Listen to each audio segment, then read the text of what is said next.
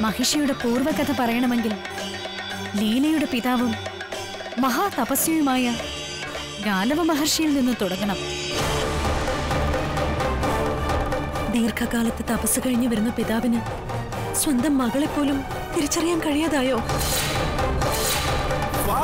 ശബരിമല സ്വാമി അയ്യപ്പൻ ഇന്ന് രാത്രി ഒൻപത് മണിക്ക് ഏഷ്യാനെറ്റിലും പിന്നെ എപ്പോഴും ഹോട്ട്സ്റ്റാറിലും.